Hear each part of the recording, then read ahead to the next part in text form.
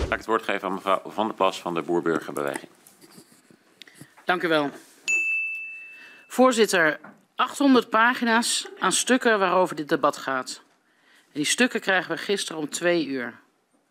Ik ben benieuwd hoe de minister of de bewindslieden denken dat een Kamerlid of Kamerleden tussen allerlei debatten door, debatten die vaak tot laat in de avond duren en een nacht met een broodnodige slaap, binnen 24 uur aandachtig 800 pagina's kunnen lezen.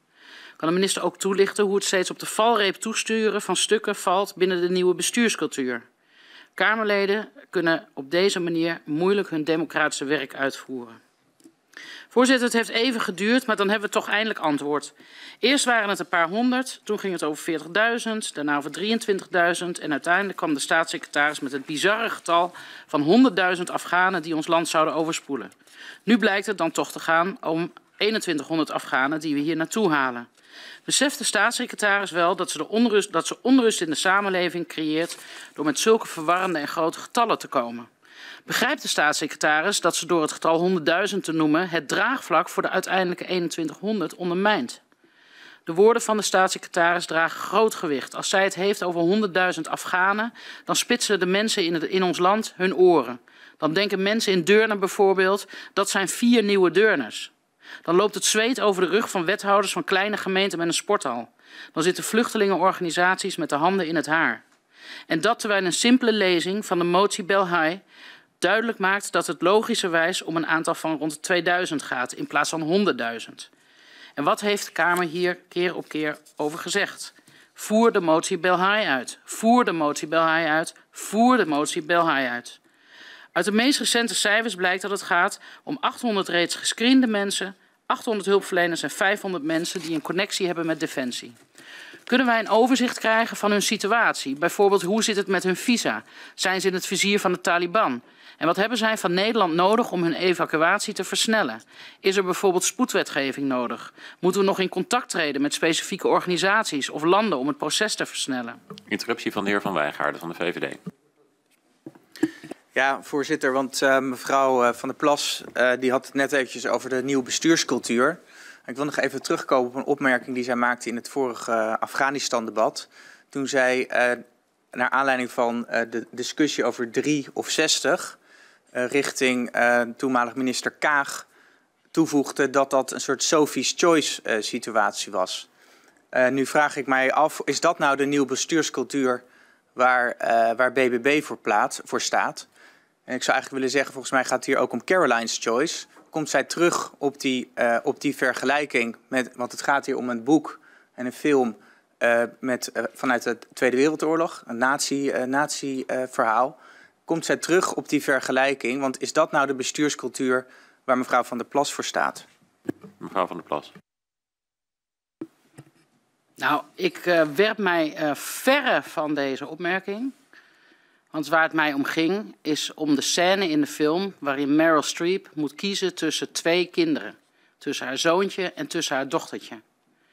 En dat ze daarvoor moet kiezen. Als meneer Van Wijngaarden of de VVD denkt dat ik minister Kaag vergelijk met nazi of nazisme, dan heeft hij mijn inbreng totaal verkeerd begrepen. En ik denk dat we de hysterie over het woord Tweede Wereldoorlog gewoon hier eens moeten loslaten. Want dat zou betekenen dat ik nooit, of wie dan ook, nooit meer een stuk uit een film of een documentaire of een boek zou mogen noemen. Dit ging over de situatie. Ik weet niet of uh, de heer Van Wijngaarden zelf die film heeft gezien. Maar daar moest ik aan denken bij als je uit 60 mensen drie mensen moet kiezen. Dus ik wil uh, heel graag dat deze opmerking, nou, die kan je niet schrappen, dat hoeft ook niet. Um, maar dat hij wel in context wordt geplaatst. Want ik vind het eigenlijk wel schandalig dat ik nu in een, in een hoek word gezet. Alsof ik uh, de voormalig minister van Buitenlandse Zaken vergelijk met uh, nazisme of met Hitler of wat dan ook. Totaal vergezocht en heel erg onnodig. Heer Van Wijngaarden. Ja, voorzitter, uh, dank voor die toelichting. Maar tegelijkertijd blijkt ook uit de beschrijving die mevrouw Van der Plas net zelf geeft van die scène.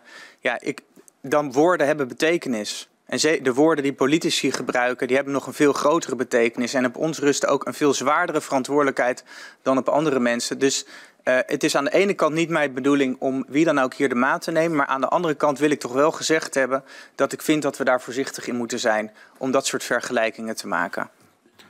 Ik denk dat mevrouw van der Plas net uh, duidelijk had aangegeven hoe zij uh, hier tegenaan kijkt. Dus wat mij betreft kunt u uw betoog vervolgen. Ja, nou ik wil eraan toevoegen dat ik het totaal buiten de orde vind. En um, dat die opmerking echt totaal nergens op slaat. Het had ook een scène kunnen zijn uit een film uh, uit Zuid-Afrika of China of wa waar dan ook. Maar goed, uh, laat ik er weinig woorden maar over vuil maken. Um, ik ga verder. Ik ga het hier overigens nog een keer noemen, dus ik bereid u voor op een schok. Tijdens het inmiddels beruchte Afghanistan-debat van 15 september noemde ik het voorbeeld van de film Sophie's Choice. De ambassadeur, ja, sorry, nou goed, ik ga gewoon verder. De ambassadeur Cecilia Weigers moest drie uitverkorenen uitkiezen uit een groep van 60 om een levende smekende mensen. De inmiddels afgetreden minister van Buitenlandse Zaken hoonde deze vergelijking weg, lachte me zelfs min of meer uit en stelde dat dit niet zo was gegaan. Er werd gezegd, ik zeg naar eer en geweten, dat de betrokken persoon die dat gesprek heeft gevoerd niet heeft gezegd het moeten er slechts drie zijn. Nu blijkt uit antwoorden op vragen van de heer Van Dijk van de SP dat ze gewoon keihard stond te liegen. Cecilia Weigers moest wel degelijk een keuze maken. Ambassadeur Weigers handelde gelukkig wel naar eer en geweten door dit keihard te weigeren. Voorzitter, tot slot. Ik wil graag twee, een aantal dingen weten van de minister en de staatssecretaris. Op welke wijze gaat Nederland in samenwerking met bondgenoten de 2100 Afghanen evacueren uit Afghanistan?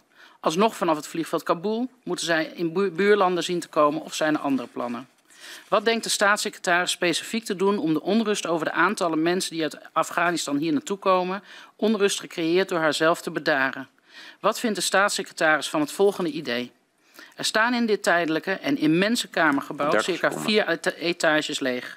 Als wij als politiek Den Haag nou zelf ook verantwoordelijkheid gaan nemen voor een tijdelijke opvang, in ieder geval een deel daarvan, voor de mensen die hier nog naartoe moeten komen, kunnen wij er niet voor zorgen dat deze etages worden ingericht als tijdelijke woonruimte voor deze mensen. De bouwvakkers lopen hier nog rond. Ik zie ze elke dag klussen. Dank u. Ja, kunnen wij om vier uur weer beginnen? Dat is over 16 minuten. Ik zie, een, ik zie een twee duimen en een knik, dus om vier uur stipt zal deze vergadering wederom aanvang nemen. Voorzitter, punt van orde even. De heer Omtzigt, punt van orde. Daar hebben de ministers niet van nodig, maar wij gaan hier vijf uur niet redden. Dat is uh, mij wel helder. Kunnen we langer door? Nee. Ja, ik heb, uh, ik heb wel een probleem uh, na vijf uur. Op een gegeven moment staat er op een gegeven moment een baby gewoon op een, op een stoep. Uh, dus ik denk dat wij vijf uur voorlopig aanhouden als, als tijd. Ja.